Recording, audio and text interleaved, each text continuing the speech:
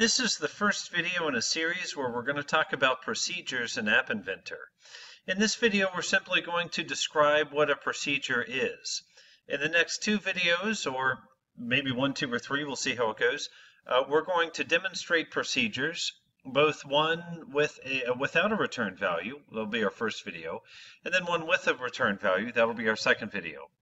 So first of all, what are procedures? This is a fundamental concept in programming. Uh, they go by different terms. Uh, other programming languages might call them functions or subroutines. In Java, we typically call them methods. So a procedure wraps up a distinct unit of work that can be invoked multiple times and from multiple places. Uh, the example our book gives is pretty good. It talks about uh, go brush your teeth. You know, that's like calling a procedure you don't have to list every single step, which is open the drawer, find your toothbrush, put toothpaste on it, get it wet, so on and so forth. Instead of listing every single step, you can simply say, brush your teeth, and your son or daughter or whoever uh, will know what that means.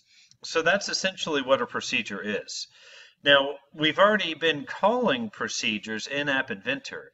The, a lot of those blocks on the side have procedures that we can call. For example, uh, split a string, one of those text functions that we have is to split a string, and we used it before to split by the slash t. So that's a procedure because it's taking many different steps and giving it one name, a concise name that can be called over and over again.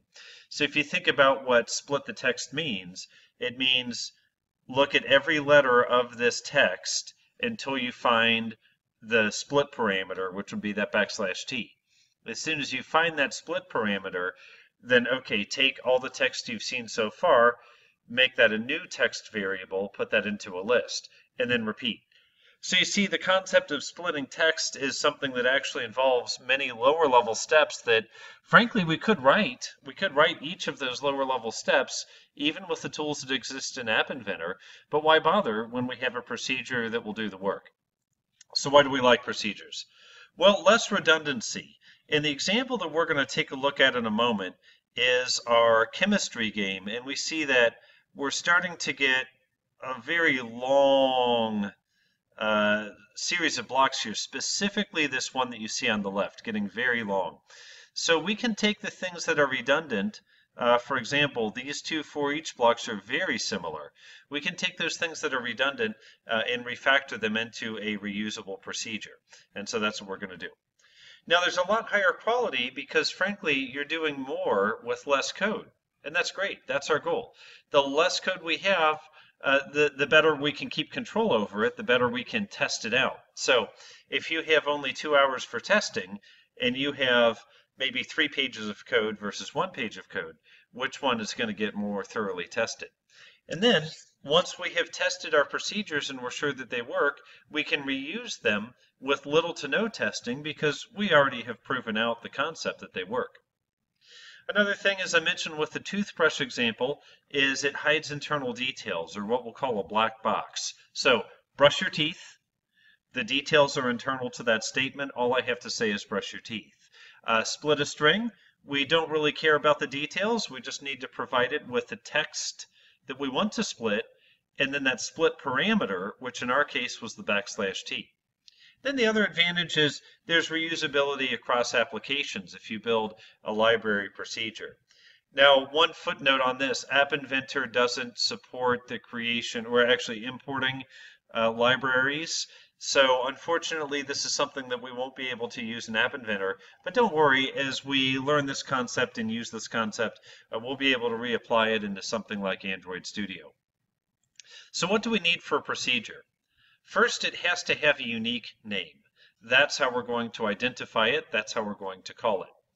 Secondly, it can have some parameters. In the example that we're going to do, uh, we are going to refactor our um, button guess click, which is, is very long and unwieldy. And you see that these two for each loops are identical, except for one thing, and that is are we increasing the count by one or are we decreasing the count by one? So in other words, uh, if you haven't seen the previous video, uh, what we're doing here is we have a recipe for a molecule like carbon dioxide, and then the learner will guess what what uh, uh, elements go into carbon dioxide. So uh, at the first part, we are going to count up two carbons. So we're going to invoke this twice and one oxygen. Then we're going to subtract from that what the user has chosen. Uh, if two carbons, then minus two. If two oxygens, then minus one. And if we balance out to zero, that means we have a correct answer. So if you look at these two, number one, where we're computing what the answer is, and number two, where we are subtracting from that answer what the user has submitted, these two things are very similar except for this one number here that we're either adding or subtracting. And so that would be a parameter that would be we either want to add one or we want to subtract one. So we'll see more when we actually do this refactoring. Okay, um, the formal parameter is a definition of a parameter. Uh, so in, in Java, we would call that a parameter variable. But a formal parameter means when we define this procedure, these are the parameters that we are expecting to be passed into the procedure. Now the actual parameter means when we call the procedure at runtime, what value are we passing into the procedure? We can have zero parameters coming in, we can have one, we can have a whole bunch, it doesn't matter. Any, any area in between zero to many is fine. Now return value, we're limited to either zero return values or one return value. The return value means when we finish this procedure, is there a value that we want to return back to the, the method that called us or to the, uh, to the subroutine that called us or whoever called us. We can either return nothing or we can return one thing. We cannot return many things.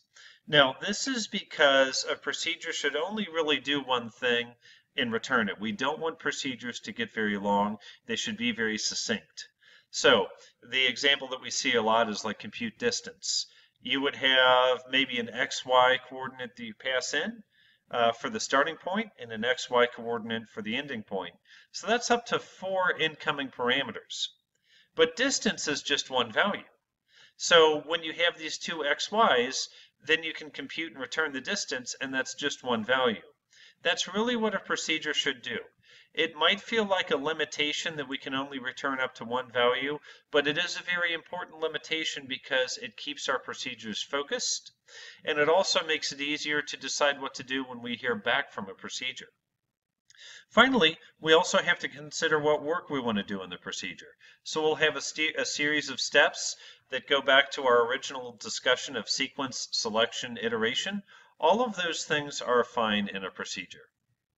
So we define the procedure, uh, and that's kind of like defining a block. We also have to call the procedure. Either we call it from another procedure, or we call it from one of our event handler blocks that we already have. But we have to keep in mind, a procedure will not be activated until it's called. It can be called zero times, which means it will never be activated. It can be called one time or multiple times. Hopefully a procedure will become be called multiple times because that that means we're getting a lot of leverage off of this reusable code, and that means we've done a good job in calling this procedure, creating the procedure. If you find that you have a procedure that's only called once, uh, ask yourself, did you define the procedure to be generic enough? Did you define it to be used in multiple scenarios or only in one scenario? So those are things we need to think about. Now, don't confuse a procedure with a procedure call. So a procedure is a named block that will do the work, and then you call that procedure, you invoke that procedure from another block or from an event handler. Uh, this confuses people a lot. There's a difference between the definition of a procedure and then calling the procedure, invoking the procedure. Uh, the scenario that I often give here is it's like calling your friend. So if you call your friend, you put in your friend's phone number, that's an identifier for your friend's phone. Now, just because your friend's phone number is in your phone, maybe in your contacts list or your recently called list, that doesn't mean that your phone and your friend's phone are one and the same. The phone number is assigned to your friend's phone, just like a procedure name will be assigned to a procedure. And then calling that your friend's phone means you're putting in that number and you're hitting call. It doesn't mean your friend's phone is the same as yours. It means you're making a call from your phone to your friend's phone. So keep those things distinct uh, and we'll be in good shape. So that wraps up what procedures are. A reusable unit of code that is defined in a generic manner, can be called from multiple places, accepts parameters, and returns a return type optionally. So in our next video, we'll see how we can make a procedure. I look forward to seeing you there.